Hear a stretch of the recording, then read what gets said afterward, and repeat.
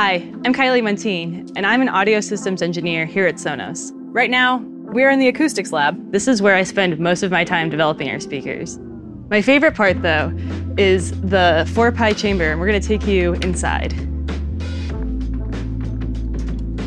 This is our anechoic chamber.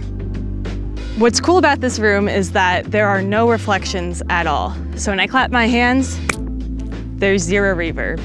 We use this to make sure that our speakers are playing what we expect them to be playing, regardless of any room that they're placed in. This is where we place our speaker. It rotates 360 degrees so we can get a full measurement of the entire radiation pattern. This is our 25 unit mic array. This allows us, within six minutes, have an entire balloon set of data with 1800 points in it. So Having our huge 25 unit mic array, we're able to measure sound going left, right, up, behind. And one cool thing about the Era 300 is that when you stand in here, it's much more immersive. So you can hear things coming from the corners, from the ceiling, and behind. Immersive music sounds really cool in here.